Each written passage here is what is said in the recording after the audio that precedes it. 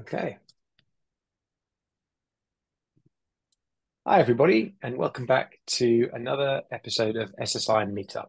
I'm joined today by Riley Hughes, CEO and co founder of Trinsic, and we're going to talk about SSI adoption and what that will take. Um, Riley, it is great to have you for some time, but most of our conversations are off the record, so I'm looking forward to today's chat. How you doing? Yeah, me too. I'm doing really well. I'm doing really well. Thanks for having me. Great pleasure. So uh, before we dig in, uh, as is customary, we just remind everybody uh, what SSI Meetup is all about uh, and uh, how we do things here. So um, SSI Meetup exists to empower the global communities of people working on self-sovereign and decentralized digital identity. Uh, we're open to everybody, both to come on the podcast, share their ideas, and also take the content that Riley and others are sharing um, and use it in your own work, distribute it to your colleagues and, and friends. Um, because everything that uh, Riley is going to share with you today um, is available under a Creative Commons by SA license, which means that as long as you give credit to Riley and to SSI Meetup, you're able to use this in your own work. Uh, so that way, we hope that we can spread the word uh, and hopefully tackle this uh, thorny problem of adoption, which Riley is going to explain to us all. So, uh, with that said, Riley, why don't you uh, take it away? All right. I am happy to. uh, it's it's good to be back on SSI Meetup. I think we were here about uh, almost almost four years ago, um, when we were just getting street cred started. Uh, so it's it's good to be back. I um I thought it would be useful to start with a just a brief history on who I am and my experience and why I care about this problem. Uh, I started at the Sovrin Foundation, which was an early um, blockchain for identity. Uh, James, uh, I think you might be familiar with Sovrin uh, if, if I uh, am, am, you know remembering things correctly. I, I uh, was, yeah, I started there. I, I was late, there at the launch. Yeah. yep. Yep. I started uh, a little after the launch, so late late 2017. Um, and um, when I was there, my my job was kind of you know to think about adoption of Sovrin so I was involved in the Sovrin token work, which never, you know, Sovrin didn't end up doing a token, but that we were considering how how a token might be used to drive adoption of the network. I was involved in the governance and the SSI incubator that that Sovrin was a part of, and so I, I was involved in a lot of things that were trying to drive adoption of the Sovrin network. And eventually, I realized that the best thing that I could do for adoption of self-sovereign identity was to launch a company in the space. And so in 2019, um, I, together with uh, my two co-founders, Tomislav and Michael, um, we started uh, Street Cred, uh, and uh, and we did that to build basically a way to make it easy for developers to use Sovrin. That was initially the, the, the initial scope of what we were trying to do. And about a year after that, we changed the name to Trinsic, and uh, raised our first round of institutional funding. Uh, to date, we've raised almost $10 million, and we've had over 1,000 different companies issue verifiable credentials through our platform.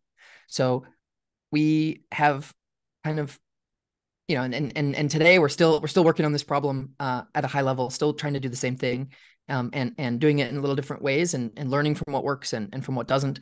Um, but we're still we're still here and still caring about this problem, and so I think um, you know the story of of Trinsic is the story of me trying to figure out in many ways how how to, how SSI adoption is going to happen.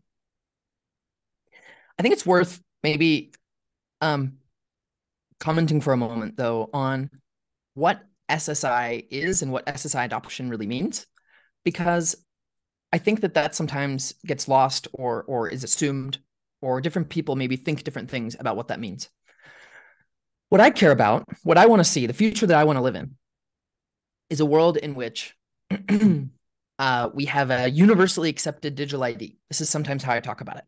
It's basically, I want a digital ID that is as useful as a Visa card, right? Where with a Visa card, I can basically walk anywhere, walk into any any uh, establishment, online or in person, you know, uh, domestically or abroad, and I can basically walk out of that establishment with, you know, something in my hand that I've I've purchased, as long as I have the funds to do so. Um, it's it's practically universally accepted, and I think the the world I want to live in um, with identity is a world in which I can use my identity anywhere I want, uh, to get access to the stuff that I deserve or, or I'm entitled to, and um, I get on with my life. You know. Now, there's a little asterisk here because I also want it to be something that is like well designed, right? Uh, something that is puts privacy at the core, something that is interoperable and, and, and allows me choice as a user. I want to be able to choose where I store my data and how I manage it and how I share it and things like that. So I also want that. But um, none of that stuff matters if if we don't get adoption, right? If, if we build the best kind of technology in the world, but nobody actually uses it, then um, what we'll end up with are uh, you know, that this problem will be solved, but it will be solved in a, di- a different way using things that are not uh, self-sovereign identity. And so, you know, this this will happen. This future of a universally accepted digital ID will happen. It is happening. These are a couple of snippets and announcements from uh, I, I don't know the last couple of weeks, uh, maybe mm-hmm. month, maybe a little over a month. Um, but but these these show that that companies are moving into this space, and companies are solving this problem. ID.me now has 100 million digital wallets, uh, uh, uh, 60 million or, or 40 million of which I can't remember uh, which of those. It's um, but but but but you know tens of millions of which are at like NIST level two verified identity wallets, uh, meaning that they've done they've gone through identity proofing with a document scan, and so there are this this future will happen, and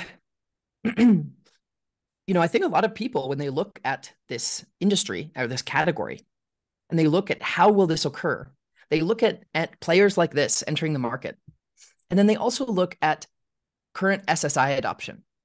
And I think many rational people look at this and, and consider how, how will this industry play out? Well, a couple of, uh, of years ago, I put up this uh, this graph that you know uh, on the on the bottom axis here there talks about adoption of SSI, and as adoption goes up, the value of SSI uh, increases as well, right? You can imagine having an empty wallet with nowhere to you, you know, nowhere to get real verifiable credentials and then nowhere to use them. It's not very valuable. But once adoption is widespread, and I can have 50 credentials in my wallet and use them at a million different places, then obviously the value of that is very high. And so, you know, the, the adoption and value are are, are correlated, um, but it's not a linear relationship, right? It's it's more of a, an exponential relationship where uh, once adoption reaches a certain level, uh, value skyrockets. Um, and that, you know, I think when I first published this uh, a couple of years ago, I said we're somewhere in this blue rectangle, and I'm not sure where within the blue rectangle. And you know, fast forward to today. I think I might move the rectangle a little bit to the to the right, but but fundamentally, I mean, we're still in this sort of pre pre um, takeoff mode where, where we haven't, you know, SSI has not um, really. Uh, there, there are very few SSI or verifiable credential deployments that have gone mainstream or or really scaled in a meaningful way. And are you using those phrases interchangeably, Riley? So when you say SSI here, is that is that shorthand for use of verifiable credentials, or are you meaning, you know, are you meaning to impute more of the other attributes that with behind your asterisk? So the you know the the, the privacy centric user control that sort of thing. Yeah, I I'm not maybe being super precise with my language there, uh, so it's good to call that out. Thank you. I think um,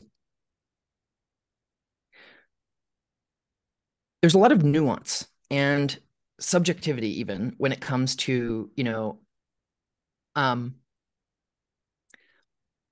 one person's opinion of does this verifiable credential format give users enough privacy? Is it private enough? Is it mm-hmm. is it user controlled enough? What if it's a cloud hosted wallet? Then is it is it somehow not as self sovereign as an edge wallet or something like that? And and, and my my aim with these with, with this uh, graph as well as um, what I'll talk about next here which is this um, this this second screenshot on the right is uh, is not to get into the into the weeds in those conversations.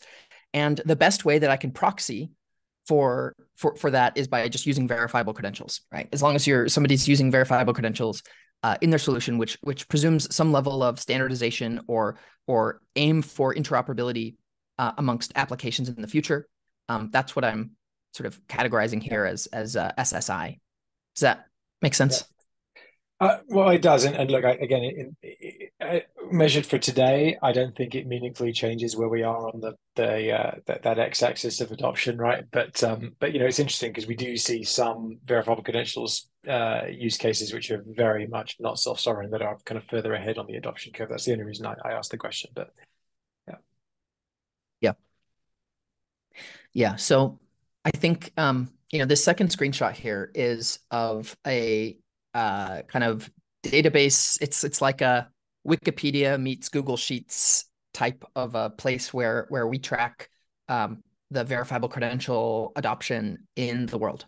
And um, obviously, uh, you know, it's an open resource, so uh, maybe we'll give the link and hopefully put it in a description or something like that. We've had a, a, a couple of dozen people from the community contribute to this. So if you're interested in checking it out or or contributing things that um, you've seen out in the wild, um, feel free to do so here, and and maybe we can um, maybe we can get enough adoption uh, listed in this table to justify moving that uh, that rectangle over a little bit. Um, but suffice it to say that that uh, you know, I really want to see identity be better in the future than it is today. I really, really care about this problem, and I've spent the last five, almost six years now in this space um, to try to do uh, just that. And I think that as an industry, we are to some degree um, we we risk missing our opportunity um, because if if if th- there are problems to be solved and if if if SSI is not the thing solving them then uh, other industries will and and there we risk identity technologies being adopted that um, are less empowering for the user and more empowering for the sort of data hungry, you know, big tech or big whatever kind of uh, you know yeah. uh, alternatives that will enter the market and fill that void. I think I'm hopeful though because we have an opportunity to fill that void, and and that's what I hope to sort of talk about uh, today.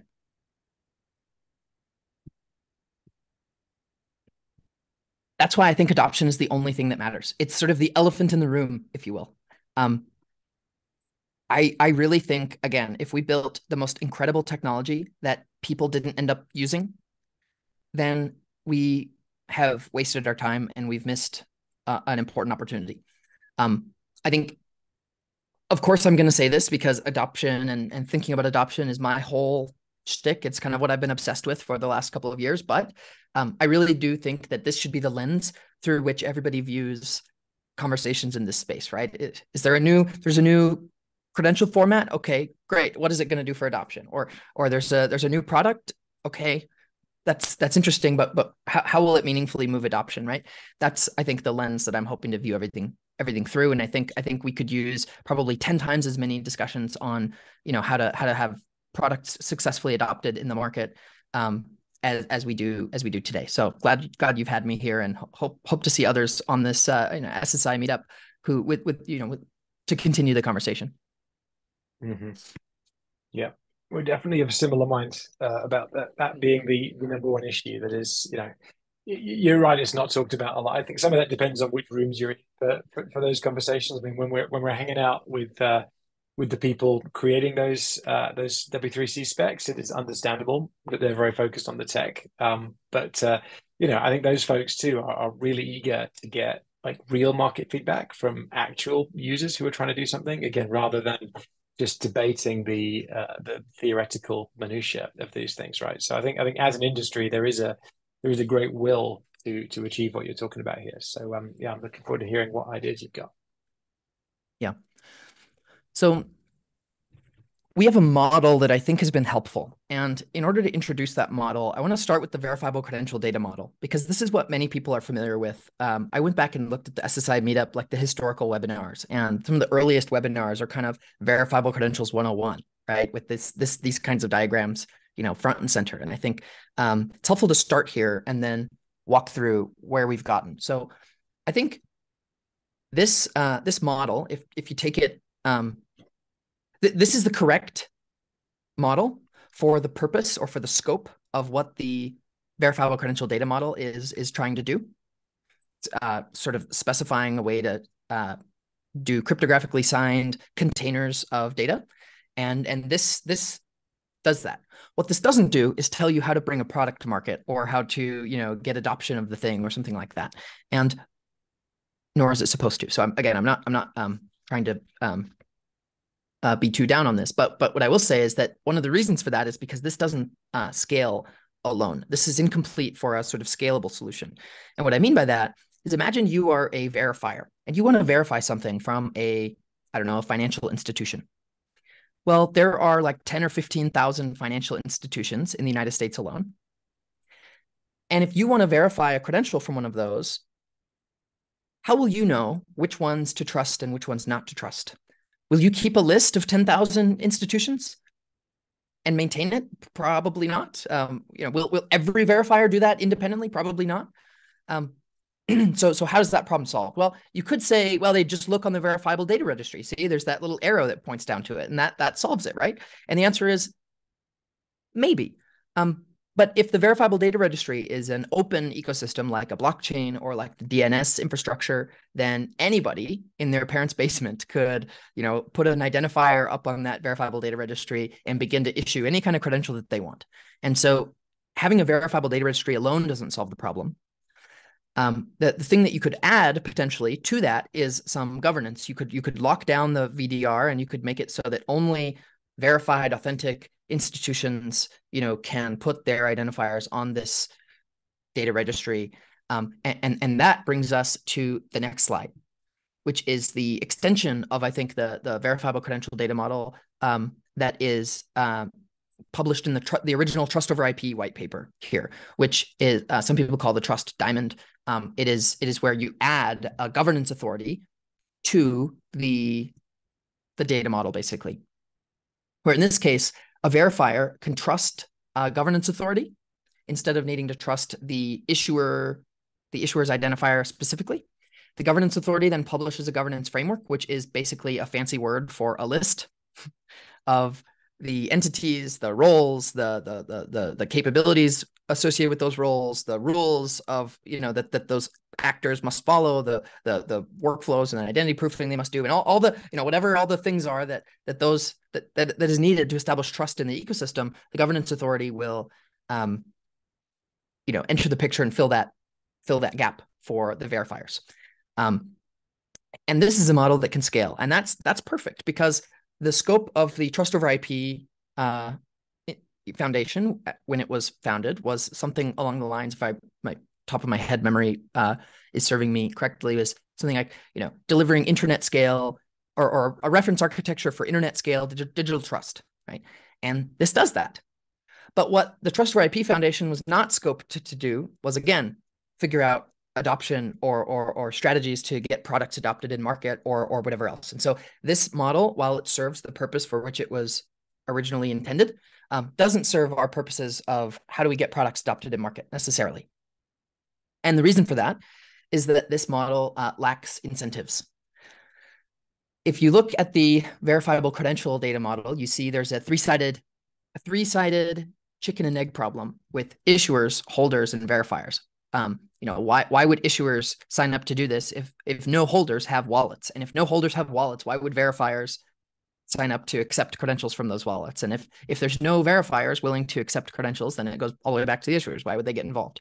And and and what we see here in this trust diamond model is that now we have a four-sided chicken and egg problem almost right? Where there's it's sort of like verifiers aren't going to get involved until the governance authorities are getting involved. And typically the governance authorities are governments or, or some governance institutions that are extremely slow moving. They're slowest moving people on the planet, uh, rightfully so, probably because they want to, you know, get things right and they don't want to um, make mistakes. That usually their whole purpose is to uh, minimize harm and risk to their, you know, constituents that they're a part of. And so it's, it's rare that you'll see those kinds of institutions um, moving fast or breaking things. And with a lack of governance authority, with a lack of uh, uh, assurance that verifiers will accept their credentials. Why would issuers get involved, and therefore why would holders, and and and and on and on. And when you look at these four parties, there's no single party that has an incentive to adopt uh, adopt in um, independently of of of the rest. There's nobody who has an incentive to move first, so to speak. Yeah, no, that so that that definitely makes sense. And, and just before you, you'll probably come to this, but um, to what extent does awareness play a role here, though? Like, because I, I, think I think as you're talking to this, you're assuming that uh, all these folks uh, have access to uh, the latest and greatest thinking in this space. They're aware that this model exists, um, but they're not able to to, to jump in. Uh, but what what percentage of the market do you think that even represents that that knows that this is possible? versus um, you know versus uh, will only ever choose the default methods because that's all they've ever heard of yeah that's a great a great point i mean you know there's uh the world is very very big so it might seem like you know a thousand companies being a part of uh, you know who, who've, who've, sort of issued a verifiable credential through Trinsic or or, or a thousand companies that have um, attended a trust over IP meeting or something like that is like a lot. Mm. Um, but in reality, there are, you know, tens of millions, hundreds of millions of of of institutions or companies in the world, and uh, so so the world is a very very big place, and so the percentage that know about this stuff is very low. Um, yeah, you're absolutely right. Yeah. Well, yeah, I mean, I'm not, I'm not refuting your point because your point, in fact, in many ways, it makes your point even stronger because you know the fact is that the folks who do know about it are they, they ought to be the people who would be falling over themselves to adopt it if only they could um, because let's face it like this stuff was designed by people who understood a need and, and, wanted a framework to, to go fill that right so that this first wave of companies that knows that this stuff exists are by definition the, the closest to enlightenment uh, as it were about yeah. about, uh, about these types of solutions and yet as you say like it feels like the the incentives aren't quite there so so it's not it's not in any way to refute the point that you're you're making. I'm just wondering yeah. if if we need to just get the numbers way up, you know, and uh, yeah, and, and just no, increase yeah. our chances with a bigger sample size. Yeah, you, you remind me of I think an important point uh, that I'll I'll just make here quickly. I think that if you look at this model, I think what many um, companies have done is they think, you know, I want to, you know, we want to do self-sovereign identity, verifiable credentials. We want to, you know, how do we do that? Let's look at the VC data model. Let's look at the spec. Okay, I see issuer holder verifier and verifiable data registry in the spec. So therefore, I'm going to build software for issuers, mm. software for holders, software for verifiers and I'll build a blockchain or I'll build you know whatever. They'll do something in the in the in the verifiable data registry space or maybe they'll use one if they're smart uh, some, some other one but but um but but generally there's a uh, you know issuer holder verifier software right? And that's that's the the software that was built. And in fact that's what we did when we started street cred right we were like okay well what do we what do we build we need to do a company here well let's let's do this stuff right um but i think that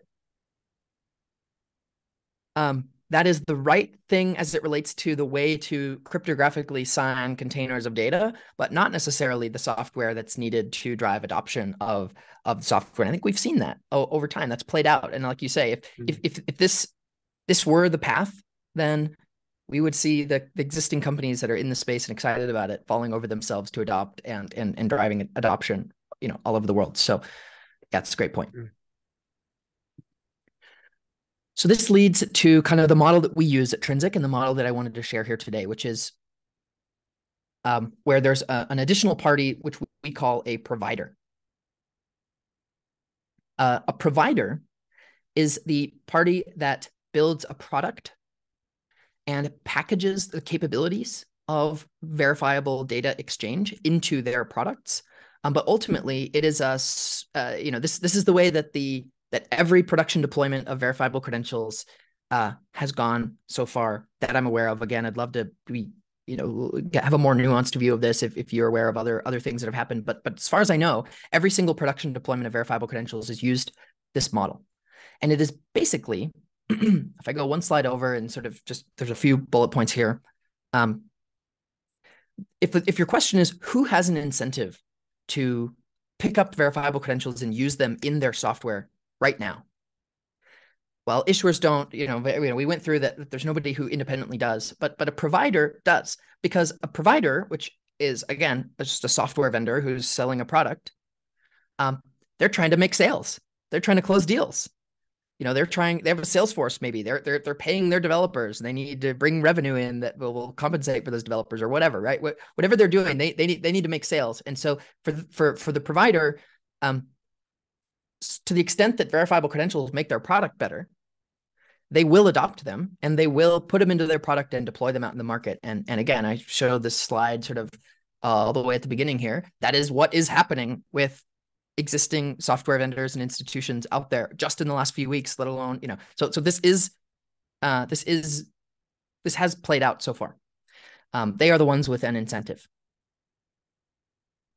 Second, it's important to remember that nobody adopts protocols. Nobody uses protocols.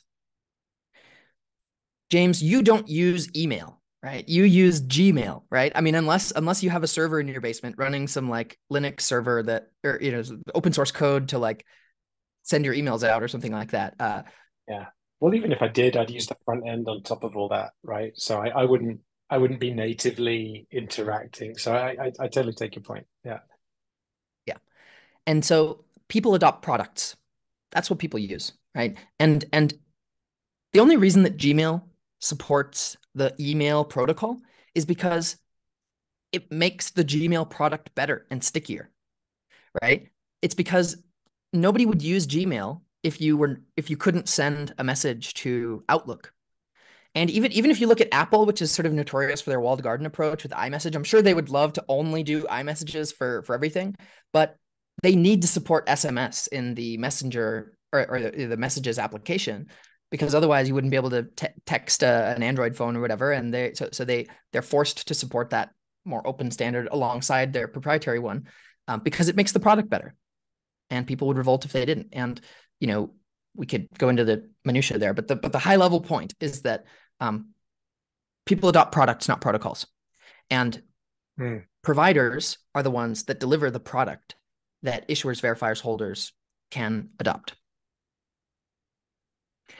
And the third point yeah.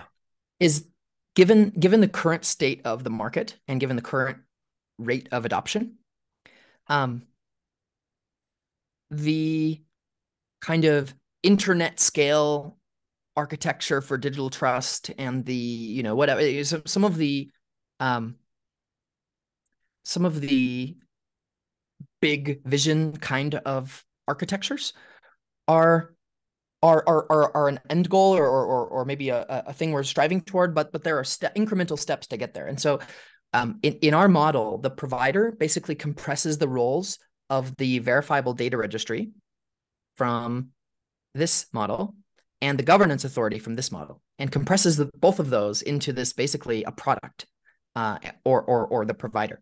And the provider is the one that is basically doing the minimum required governance to get trust in the ecosystem. The provider is the one that maybe has a, a blockchain behind the scenes that they're anchoring DIDs and stuff to, but the issuers are are using the provider's product to to to do that as opposed to, you know, um, doing it directly themselves. Uh, and so, you know, in that way, many of the problems that VDRs and and and and, and governance authorities were set up to to solve, the providers do that for their ecosystems. And because it's only one party who can productize it, it's it's sort of uh, self-contained and easier to get get adopted. Does it? Uh, I mean, so when you say ecosystem here, I mean you are you're still thinking about a plurality of, of issuers and verifiers in these scenarios, ideally, right? So that the provider is is basically bundling up this capability and making it available to to a marketplace or are you, are you feeling like it's actually more self-contained than that? It's more it's going to look and feel like an end-to-end product to the users but actually under the hood it's doing uh, it's doing these open protocols. Um,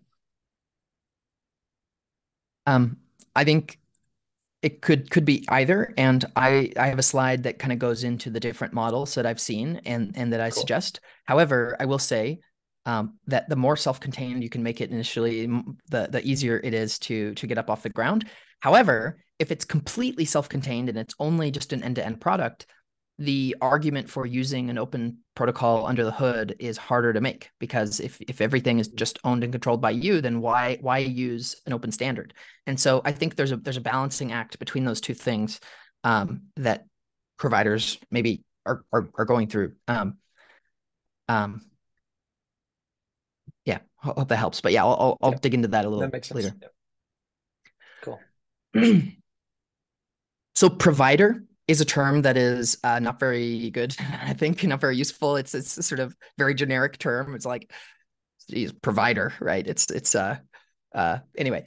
So we don't use that term mostly out in the world. We we use the term ID tech because an ID tech uh, product, right, is sort of a play on fintech or medtech or edtech or health tech or reg tech or whatever.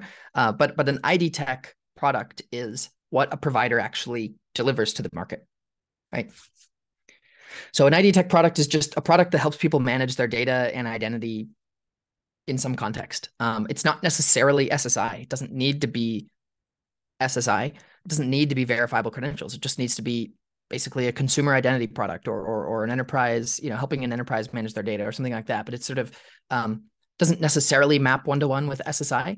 Uh, however, I believe, possibly because I've drunk the Kool Aid, but also possibly because I've spoken to hundreds of these companies over the last five years, that ID tech products that use SSI tech under the hood, like verifiable credentials, will have a competitive advantage relative to the ones that do not. Uh, particularly if we have, if we assume some level of interoperability or compatibility amongst those products, the collective network effect of all of the companies using the open standards will exceed that of any that, that you know that any one uh, company could could get alone. Um, uh, and and so, yeah. Anyway.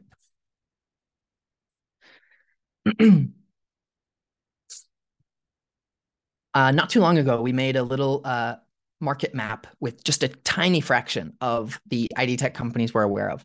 Um, but I think the the thing to note is that sometimes the name of the company is is here, like uh, I don't know, um, uh, like uh, Merit is an ID tech company that is not based on uh, self-sovereign identity or or an interoperable standard, um, but it is a an ID tech company that exists that that is um, I think doing quite well. and the name of their company is Merit, and the name of the product is Merit. Uh, but if you look over here at MySudo, that is a product developed by a company called Anonyome Labs. Anonyome Labs is the name of the company, but their ID tech product is called MySudo, and that's something a consumer can adopt and use uh, today. So, um, you know, there again are so many of these ID tech companies. This is just a small sampling, um, but but hopefully gives you an idea that you know the uh, the ultrapasses of the world, which are using verifiable credentials to solve problems in government, are right next to the ID.me's of the world, which are using not necessarily verifiable credentials to solve problems for governments. Is this making sense? Yes, indeed. Okay. So how will SSI prevail? How how will we win as an industry? How will we not only get adoption of uh, better sort of universally uh, accepted digital ID, but also make it so that it is private and interoperable and uh, eventually self-sovereign, universally adopted digital ID? We need lots and lots and lots of good ID tech products that is my that is that is my strong belief at this point. We need hundreds, thousands of good ID tech products um, built for different kinds of people, built for different use cases and, and industries and personas uh, that solve problems out in the world. So I have uh, a few concrete recommendations for ID tech success. At this point, I maybe want to call out one thing, which is as I've spoken about this stuff over the years, I've had a lot of folks who are like, I am a provider, but I didn't know it because nobody ever told me. You know, I like they're like, I just thought I was sort of somebody in this like nebulous kind of level or layer four application ecosystem world, but I didn't realize that I I, I am a provider. So if if if you are building software that incorporates verifiable credentials, if you are uh, working with or selling to uh, issuers or verifiers or holders, my uh, uh, uh, strong guess, 95% of the time, is that you are likely a provider. And, and many of these recommendations will apply to you. You, you kind so, of are by default, right, Riley? Because um, because as you pointed out, so those bits are missing otherwise, right? Like the the the existence of that uh, of that governance framework and the ability to look up trusted providers, you know, that that is that is conspicuously absent. So if you're selling a product that doesn't have those, it's probably not a very good product. So if you're selling a product like you you would be you would need to be a provider.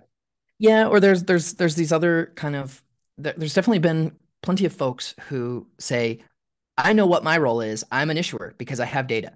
And I'm an issuer and I will just sort of wait around and eventually maybe there will be verifiers that or, or once people have wallets, I'll issue credentials into those. And and and then eventually there will be verifiers that pop up that'll, you know, be interested in verifying the credentials that I issue or whatever, or or, or things like that.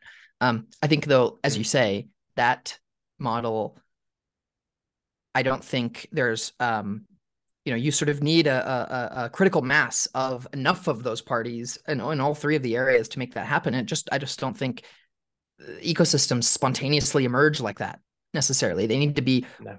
willed into existence. They need to be driven into existence by a provider. And so if you are you know many many of these issuers in fact if you look at a lot of these uh these parties from just a few you know the, these ones these are in many cases uh, issuers, right? You look at Onfido acquiring Airside, and you you wonder you know, what is Onfido's role in that. Um, you can probably imagine that they are going to be issuing credentials into you know re- reusable ID credentials into the Airside wallets, for example, and, and, and so on. So I think, yeah, you're absolutely right that um, this is how this is how it works. If you are wanting to do something today, you basically are a provider.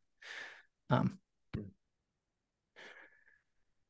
unless you're integrating in natively into somebody else's ID tech product or something, right? Um, all right. Recommendation zero, before we even start, because it shouldn't even need to be said, but it, it, it still does, is that product execution is the most important thing, period, full stop. If you're a provider, you're building a product, you're offering a service to the to your customers, and that product or service is like, you know, that is the most important thing. That is the objective. It is building a good product is the objective. And James, you had a tremendous uh, webinar a few weeks ago here where you, know you went through sort of how to think about this kind of stuff from a product management perspective.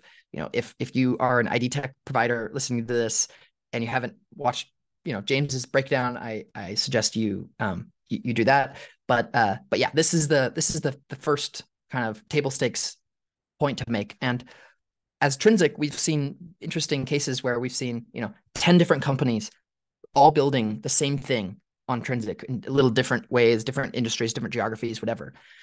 And the ones that win, there's there's nothing we can correlate with success, uh, except that just product execution. Um, just did a good job at building their product and selling it. You know, um, so it's it's it's really not that complicated, but it is the first uh, point to well, it's not complicated to say, but it is hard to do in practice. So here are a few con- concrete recommendations to for how we've seen that work well. Um, the first recommendation is to not reinvent the wheel. There are people like myself, people like you, James, people like many others uh, in our space who've been at this for some time and have learned things that work and things that don't. Um, and I highly recommend to people to um, not start from scratch and build on the wisdom of others who've been doing this a while and who've spent you know millions of dollars making mistakes that are now uh, uh, avoidable uh, that that you don't need to encounter yourself. Um,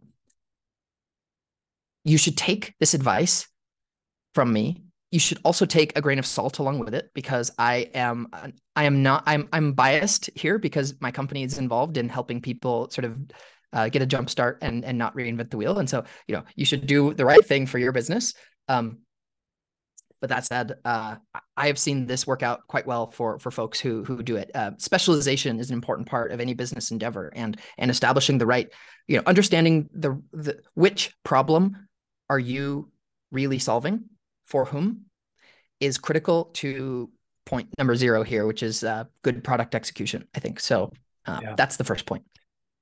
Yeah, well, and, and you know, you might have made that point less forcefully even a couple of years ago, right, where where the sands were shifting perhaps a bit more uh, at these at these foundational levels, and if you if if you were committed to using these protocols in your product in a in a near time frame, you would need to be conversant in how they worked and perhaps involved in the standard setting or the open source projects things like that. Yeah that was that was probably true in in 2020 2021 um, to, to some extent. Um, and you know for certain things it, it might might be true today but but no I, I 100% agree. I mean there are many companies that have been uh, at this for many years now and have dealt with every possible edge case uh, around the use of these protocols and the open source frameworks and have built their own you know product hardened uh, toolkits that you can use. Um, and if you if you actually have a use case that isn't just I want to issue credentials, um, then you should skip straight to that on top of their pieces, right? I mean, this is a this is absolutely singing from my uh, my song sheet here, but um, but it is interesting, I think, how recently we've been able to make this point um, because it, it, it wasn't you know when when when Trinsic and Evernym for that matter were founded, you know that was it was a slightly contrarian bet um, because uh, a lot of this stuff was still very much up in the air. Yeah, yeah, and going back to my point on adoption, I think every product that gets built it has an existential risk that it doesn't get adopted and like adopt you know like getting your product used and uh, you know out there in the world and and you know that is that is the fundamental thing that everybody should be you know everybody who's launching a product should be thinking about and and optimizing for. And generally speaking um, building on a framework that has been well established or whatever is is going to get you there much faster than um than starting from scratch. Um mm. okay. The next point is that things like user experience and messaging are important parts of product execution and frankly should be treated like r&d just like you would treat you know engineering uh, or, or science scientific experiments or, or, or any other kind of r&d um, they are very important and they actually matter for uh, for for adoption like quite a lot. Um, on the user experience side some tactical points are that you should meet users where they are. Today all of people's most trusted institutions and their you know all their most sensitive health information and uh, you know their their most sensitive sort of journaling and and and and uh, their life savings for that matter. It's all baked, generally speaking, behind an email address and a password. It's like anchored to that right now. And as we're talking about focusing on which problem are you going to solve, um, if you set out and say, I'm going to solve problems for real estate agents and make their lives better by helping them prove that they they have their proper licensing or whatever, and then you also say we're also going to solve this other problem you know this other problem which is the the you know uh, the whole can of worms around you know uh, identity backup and recovery passwordless uh, custodianship yeah. like whatever else like like that like it's it's it's it's a troublesome uh, endeavor and frankly i've seen it in many cases where there are people who they're used to their like bank bank grade security being tied to an email address and maybe a two factor sms code. And then they use this this product they've never heard of from the startup that's asking them to not use any of that and instead scan QR codes with for for for data exchange. And they're like wait is this is this sketchy? Is this legit? Is this you know what? You know so so I think it is like wise in general. I mean of course I'm not suggesting everybody everybody just use a password because I think there are there are better solutions than than some of the things we've had before. But um it's also important to be pragmatic understand which problems are you going to solve and uh, meet users where they are in you know with products that are adoptable today uh, that don't require onboarding into a whole new paradigm. Yeah, I mean, if you're teaching, you're losing, right? I mean, it's just the one one paradigm shift is enough for people to swallow. Like, if if if this is truly a delightful product that's going to revolutionize how people do their jobs, like that's enough without them having to learn a whole new way of working and all these other different uh, different hurdles along the way just to adopt your product. Yes. The next point is that focus and uh, specificity are your friends.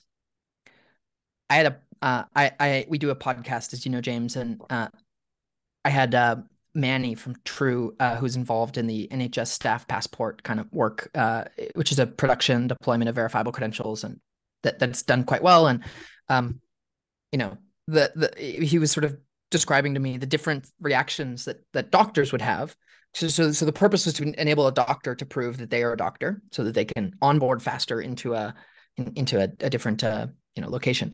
And the difference in how the doctors perceived a generic wallet app product, which used generic templates for verify, verifiable credentials and connections and things like that, versus how the doctors interpreted it when it's asking, "Oh, where was your residency done?" Right? Uh, uh, here are your patients right here are your cases or whatever the whatever you know the, the specific terminology yeah. the specific workflows that that only expose the things relevant for the, the the clinicians and the workflows that they need to do to the user it just like goes a, a, a tremendously long way in terms of retention and adoption Um, so I think again, when you think about product execution, focus on specificity and to specific end users and, and specific products is is all uh, really good. And I think while many people have an ambition to broaden the category over time, I think it's wise to start small and and especially from a product and UX perspective, focus on an initial use case and get traction there before trying to go too big. Uh, the last point under user experience that I'll say is that um, the more steps you have, the more distance between step one and realization of value, the fewer people will make it all the way there, right? Like at every step, you're gonna like lose people. And if your first step to your process is a redirect out to a third party app store to download a separate application, that is really challenging. And I can tell you, as somebody who, you know, has spent lots of money building a wallet app and you know who's who's who's lived this and who's seen it happen dozens and dozens of times where people build a mobile app for their use case uh, it, it is a challenging first step where you will see great drop off now that said i have definitely seen mobile apps succeeding. So i'm not i don't want to say that like a mobile app is a terrible idea nobody should do it. Um, but what i want to say is that um, you should probably have a good reason for doing that. You should probably think through that from a product perspective. It should not be the default. Uh, you know, just just because uh, just because Edge Wallet equals SSI or something like that. It should it should be a you know a, um, means to delivering a better product experience, which is the end goal, um, or or should be your end goal.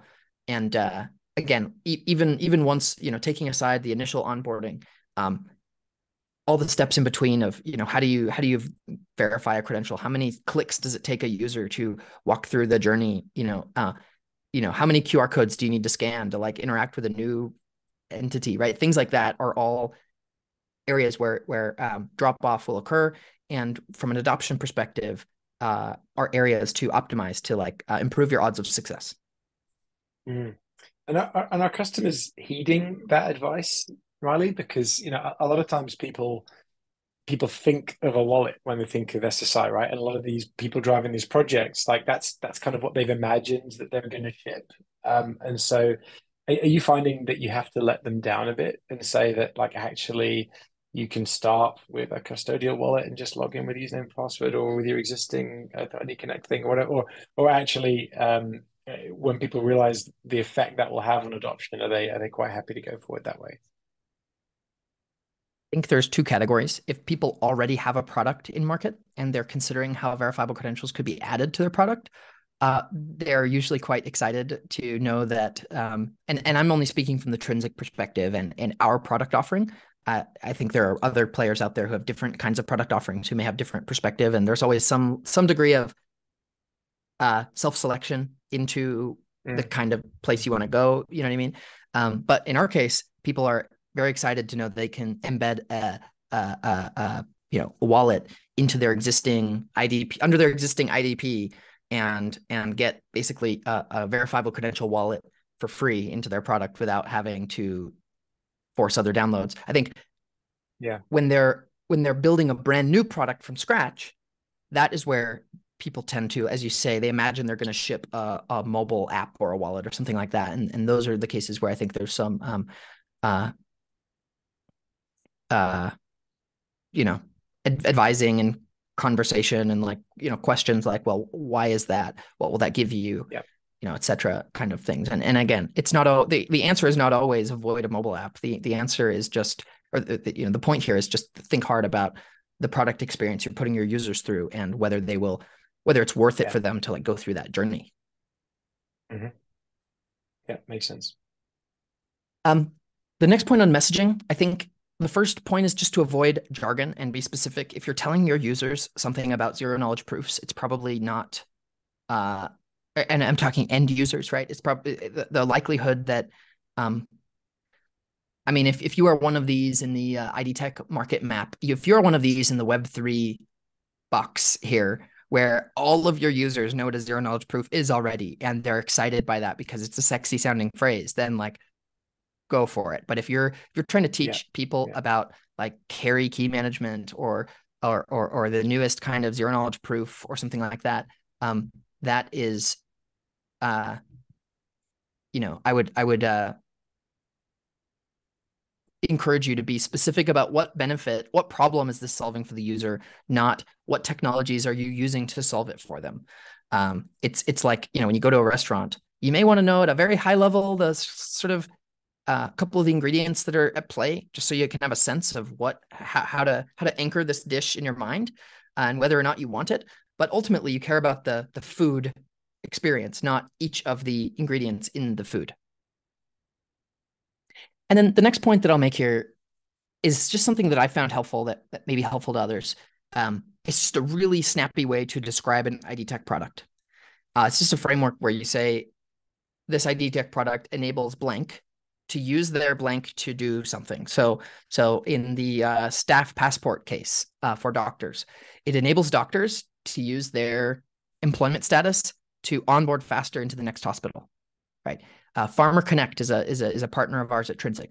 They enable farmers to use their history with the supply chain to get credit that they wouldn't have otherwise gotten. So there's a very like, sort of one sentence way to describe many of these uh, SSI products that I think would be um, sometimes take a while for people to sort of articulate yeah. otherwise or or any product, right? I mean, this is this is back to back to my favorite point of just like it's your point zero. Like it's basic product management. Like actually, if you if you can't sketch your really simple user story for like at a high level, what is this thing for? Then you know there's a risk you may not be solving a real problem, and you, you you're actually just trying to shoehorn SSI into something where it doesn't fit. So, yeah, agreed. Okay. And then my last uh, point here is to, again, spend the research and development cycles on uh, thinking through the business model and the business, the, the way that you're going to set up your um, your product. Because if you don't have a sustainable business model, it's probably not going to last very long anyway. Um, these are a handful of things, and I think we're going to flush this out further. And I plan to put a like a blog post out that flushes this out in more detail. Um, but just as a teaser, I think um,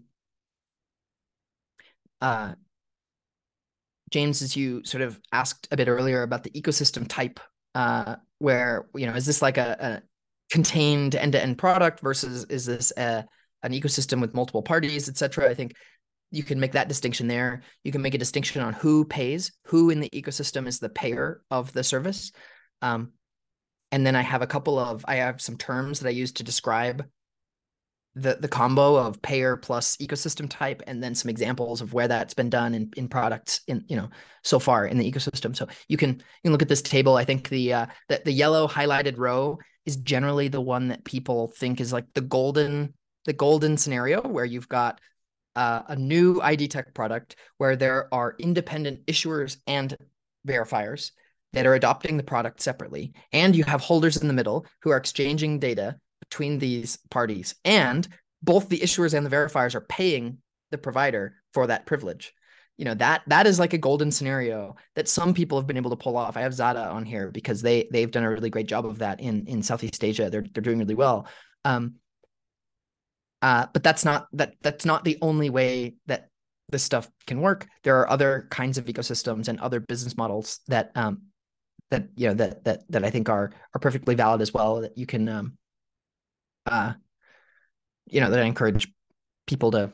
I guess I'll, I'll put out a, a, a blog post on this uh, before too long and can continue the dialogue there because this, this is probably deserves its own its whole on webinar. Uh, on, yeah, on I was going to say there's there's a lot there's a lot here, um, but of course because I, I know some of these examples, I can I can infer some of uh, some of what you're meaning there, and the you know d- uh, perhaps I'm stealing from your next blog post, so you don't have to answer this, but like, do you have a do you have a proposal for which of these might be uh, might be stronger, or is it is at the moment is this more just a survey? Hey, I've seen all these things; they can all work given the right uh, given the right ingredients.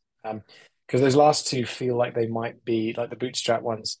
They might be hypothetical, as in like it would be it's a credible proposal, but like, are we seeing Equifax do this today? I don't know, like uh, not not not yet, but they certainly could, right?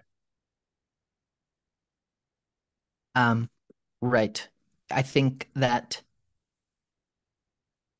um, I think the curated ecosystems, meaning the there's a provider that is bringing together separate issuers and verifiers and holders into a into a, an, a curated ecosystem. Um, that one's harder to do. Mm. Uh, that's the hardest one because you've got to get both issuers and verifiers on board. Uh, but it is it is more it's uh, generally I think stickier and uh, you know more there's more it's harder therefore there's less people doing it and also therefore there's more value potentially created there. So I think it is a that that is like an exciting category. Although the chicken and egg problem is a challenge for folks doing that. I think down at the um the, the next ecosystem type being self-contained, those are areas where, like in the member pass case, that is a, a credit union issuing a credential to a user that then the same credit union will then verify back. Um, in general, obviously there are cases where those work. Um, but in general, I, I, tend to find that the value proposition is not quite as acute, or the pain point is not quite as acute, and the the, the fit for verifiable credentials is not quite as ideal as as maybe some of the other ones. Um, yeah. And on the bootstrapped case, I think this is where you know, uh, um, you know, we're basically seeing ID tech providers. Uh, I think I think specifically on the proxy issuance side, the very bottom row, where maybe instead of going and onboarding the issuers directly, you are using an API to sort of get the data, ingest the data into the wallet, and then once you've got the data in the wallet, uh, maybe maybe you as the provider are are the one that's cryptographically signing that data. Um, yeah. You know, then then you can work with the verifiers, get them get them on board before you go work with the issuers. I think that that is a model that I think I'm seeing most commonly today.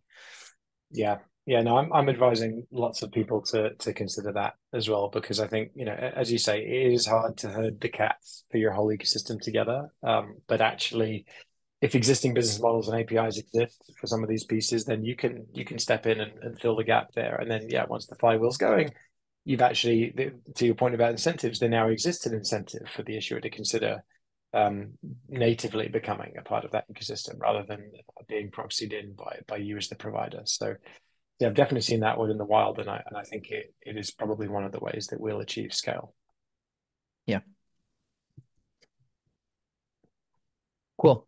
Um, well, I want to close just by saying that I I think that the parallels that exist today, where with where identity is and where we're at with SSI, um, is really uh, quite striking with with where finance was 15 years ago. I think if you rewind 15 years ago, there was the sort of great financial crisis, the, the meltdown of the financial systems, which basically brought to people's awareness that like even these institutions that that they thought that they could trust are uh you know maybe maybe they can't trust it quite as much. And then sort of right yeah. before the financial crisis you have some early fintech winners. You have you know the, the paypals of the world. You have the the Finicities and the the Mints and Intuits, and you have a few fintech winners. Then you have the financial crisis where it it kind of throws everything up in the air as it relates to finance. And then after that, you get fintech infrastructure providers that enabled this explosion of fintech applications. And now 20% of unicorn companies are fintechs there are fintechs for every possible thing you could imagine. And the long tail of like like the amount of consumer choice now if you just take traditional fintech infrastructure and if you you know w- w- you know with the knowledge that like crypto and defi and all this stuff is like another spin-off from this event uh, that's related to finance. But but if you just take the traditional fintech infrastructure like like it's been an un- unbelievable explosion of things that are happening in that in that world. Now if you look yeah. at identity i think we have uh, again, big institutions uh, that people thought they could trust with their data uh, uh, miss miss misstepping in terms of the consumer trust. Um, and you have uh, COVID, which was another kind of big, uh, some big big crisis that threw threw everybody's you know threw everything up into the air and accelerated uh, digital credentials in a lot of different industries and, and had to prove them out in the wild, you know, in, in different ways. And so I think just like we have sort of pre-COVID, a few big like identity winners, right? We um uh we talked about some of these players in the in the ID tech uh, market map, right? Air, the Airsides and ID.me's and Merits of the worlds, for example. Um, then you have kind of all this stuff happening, which has caused people to now have more question marks around their data. And then post this, now we have companies like like the one that I'm a part of and and and others providing ID tech infrastructure that are enabling hundreds of these ID tech products to explode. And I think that the, the opportunity is right now. And if we miss this opportunity, I, I don't know, you know, I think we'll end up with a little different, the, the, the world will play out a little differently. It'll play out with more uh, proprietary, uh, more siloed things and, and less consumer choice and, and freedom. I think, I think though that the, the tides are shifting toward portable identity um, in a way that is really compelling. Um, but that requires maybe some of us to break the ideological conventions or the idealistic conventions that we want to hold around self-sovereign identity and and and make us be a little bit more pragmatic about what will really get adoption uh, today. And so that is, you know, I think the stakes are high, and I really want to see this happen and see it work. And so that's why I'm, you know, glad you had me here to talk through some of my, you know, thoughts on this um, because I think the the time is now.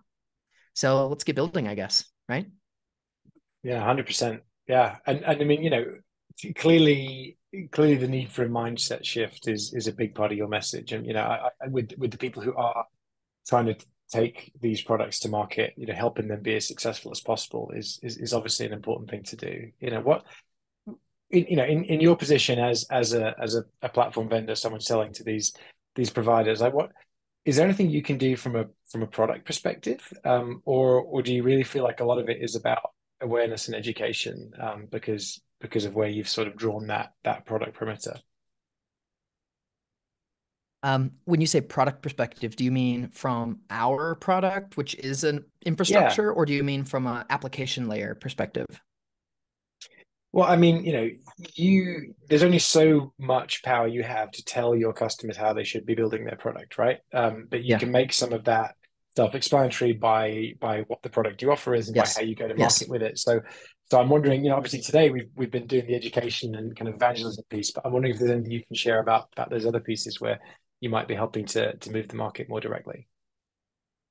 Yes, um, I think there's two things, uh, and and I didn't bring my uh, sales pitch slides, so uh, forgive me if this is just uh, off off the top of my head. But you know, the the one thing that we're doing, I think, is um, this idea of um, appless wallets or or zero kind of kind of zero friction onboarding into wallets. I think you see this really mm. strongly in the Web3 space with wallet as a service products uh, and mm. with, um, uh, yeah, wallet as a service or embedded wallet products. Uh, that that is kind of our um, more recent approach. We we made sort of a pivot in in November of last year um, toward this direction where it is uh, you know zero friction signups to wallets where the first time a user gets into their wallet, it's because there is already a credential in it and they have an opportunity to use it, as opposed to the user needs to go out, download an app, onboard in the app, scan six QR codes, like to go through this yeah, whole yeah, process before they can even get started getting value. I mean that that is that is how we operate now. And so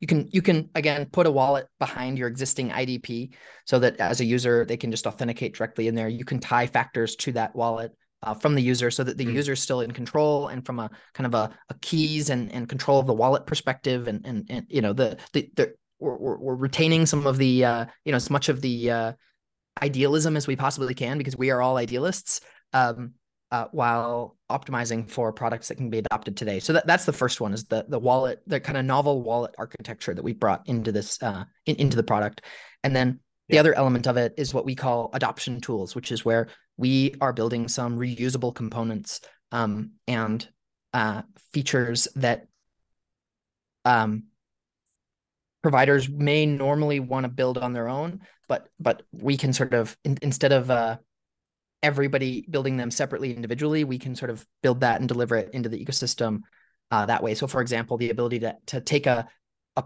a, verifiable presentation from a credential and package it into uh, uh, Apple or Google Wallet format, mm-hmm. right? And and mm-hmm. still allow the user to manage the selective disclosure associated with that, which is which is I think uh, kind of cool. Another one is um, the OpenID Connect uh, or the, the the OpenID for verifiable presentation flow. Um, and, and some other other other components that we have that are white labelable to the provider's branding, right? Those types of things that we can kind of deliver out yeah. of the box that help providers um, with some of those uh, rubber meets the road mm-hmm. kind of uh, adoption or integration challenges. Yeah, no, it makes sense. Um, and you know, I, I liked your comment about how uh, you know how, how users don't adopt protocols; they they adopt products. Um, but you know, if you if you think back, you know, twenty plus years, you know, it was as cell phones were were first being brought to market to the mass market, at least. Um, you know, in in the US, you had uh, you know a pretty pretty open innovation, a few different rival um, standards for how the how the airwaves were used what protocols were used on the on the, the networks themselves.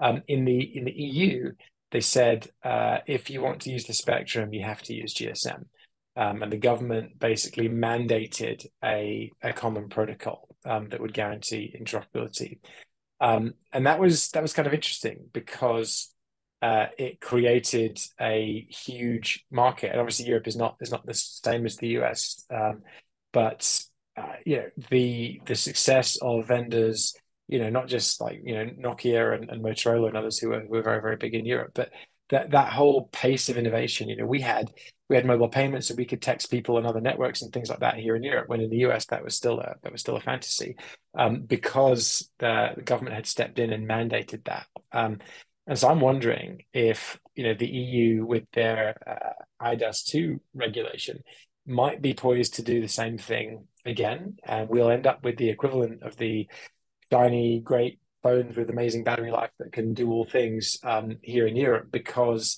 um, by sort of flattening the market at a protocol level, um, we will create an attractive enough um, opportunity for for the lean, on. A, do you think that's do you think that's a possibility from your vantage point, and and B, more broadly, do you think there are other things that the government could do to help with this uh, adoption problem? Um, yes, I mean, I kind of two comments. So on the on the um the kind of European approach, I think there's two things to be aware of. The first is that while that is all ongoing, I don't think we'll see anything in production for the next couple of years, right? I mean, it's just it's, it's, this is a this is a process that they go through, and rightfully so. And it, so I think like um, as as companies in this space, anybody building in this space can't wait around for that to happen, and and needs to move forward, you know, sooner than later. Um, if you're a, a large company, you know, like a like a like a like a Gen or like a Microsoft or like a whomever, I think you know that is a little different story. Um, uh, the second thing is that um, I don't know how this happened with the mobile carriers necessarily, but what you risk is the risk of premature standardization. I think like it's a little different when you're talking about something like the EU mandating Apple uh, add like USB-C ports or something like that. USB-C is tried and true and there are probably a billion you know, like i don't know 10 billion 100 billion usb-c ports you know out there in the wild right now uh, yeah. in production but but when you're talking about something like verifiable credentials there is a risk of prematurely standardizing the wrong protocol or or a standard that maybe isn't um i mean to some degree you know when we talk about standardization there's an element like it's important because interoperability is one of the key value propositions of of what we're all doing here but mm-hmm. there's also this element of like we need to build a good product and it's possible that the that that particular form factor of json ld for example or that particular form factor of selective disclosure for example or pick your thing isn't the right one that will get adopted or, or that will lead to good products or, or, or good developer yeah. experiences or whatever and so you know I, I would be pretty cautious to um, like like what I would do if I were a government um, is that I would I would mandate the things I actually want. I would mandate some level of interoperability, or I would mandate some level of uh, maybe selective disclosure or the ability to prove uh, something without you know whatever whatever my requirements were.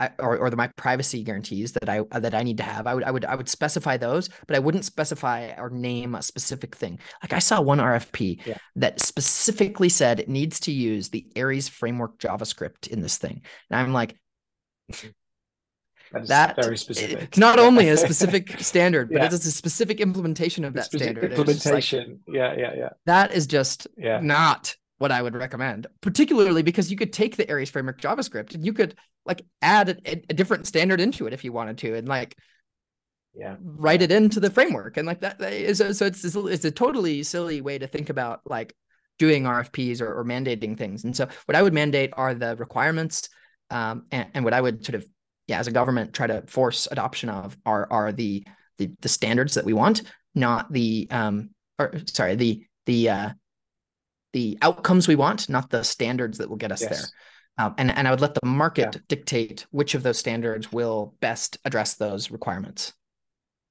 Mm. Yeah, no, I, th- I, think I think that makes a lot of sense, and we'd have to get uh, Andy Tobin on here or someone who's, who's been closer to that work to to explain the specifics of it. But my my understanding is that's more or less what they're doing. Um, they're saying kind of what it needs to look like rather than precisely what it needs to be. Um, and the other thing they're doing, of course, is is requiring the member states to step forward as issuers um, and actually issue uh, you know, government-backed ID credentials. And I think that's kind of got an interesting catalytic effect, perhaps. Um, but but you're right. This is you know it's exciting, but it's going to be years in the making. And and so if if our if our main question is how do we beat the lesser solutions to market, then then this may not be mega relevant, um, and there might be other things we could do that are that are more impactful. Yeah, yeah, yeah. That makes sense. Um, yeah, I think the other solutions, cool. I think the, the key takeaway is that they are rushing and to onboard relying parties and verifiers at breakneck pace. And they are focusing on the business model and the adoption first. And I think their perspective is they can always add one of these standards in later if they if they feel like they need to you know what i mean like but but what they can't do later is make up for lost market share and i think that that is uh, I think sometimes in the SSI space, we maybe have put the cart before the horse a little bit in terms of the order of mm-hmm. operations or, or, or the prioritization of, of these things because you know like i say if we if we build the most incredible privacy preserving tech and then nobody uses it and instead they use this uh, surveillance thing because it beat us to market then uh, that that really is like um, by focusing so much on the thing we want we actually missed the thing we want. You know what i mean? So yeah. Yeah yeah no, sh- shame on us if we let that happen. I, I totally agree. Um, awesome. Well, gosh, we've uh, we've burned through what like an hour and ten minutes chat chatting away here. This has been uh, it's been a great conversation, Riley. But uh, we probably better wrap it up. Um, it's been it's been really really good to hear your perspectives and and look for the folks uh, for the folks watching this or or listening to us. Um, you know, I think I think this is an incredibly important point. Um, it is it is fascinating to discuss the new innovations on the technology side uh, to get vendors to come on and talk about their their products and the uh, new whiz bang features and all that kind of stuff. Um, but you know, it's it's the difference we make out there in the real world. Um, that's what's that's what's most exciting to me personally. Um, and I think I think your point, Riley, about how we have a potentially limited window here um, in order to to make a difference and prove that any of this is is worthwhile. Um, before solutions which are just good enough uh, steal the march, um, and so uh, I think it's a it's a very timely rallying cry. So uh, so I thank you for giving us that. Yeah. Well, thanks a lot, All James, right. for having me. I think if I could just say I really enjoy talking with people. If if there's anything I've said that people disagree with or want to add a little layer of nuance to or or whatever, um, or or agree with, I encourage everybody to reach out to me on on Twitter or LinkedIn. Um, uh, search my name, you'll probably find me. Uh, we also have a podcast called the Future of Identity podcast, where I talk to people who have gotten some level of adoption of verifiable credentials out in the wild and talk about the lessons learned and you know um, you know the the tangible product takeaways hopefully from those experiences. So those may be two other things that I would recommend people check out if this was an enjoyable conversation for you. Sounds great. Cool. Well, thanks again, Riley. Uh, it's always a pleasure. Um, I look forward to our next chance to chat. But uh, in the meantime, take care.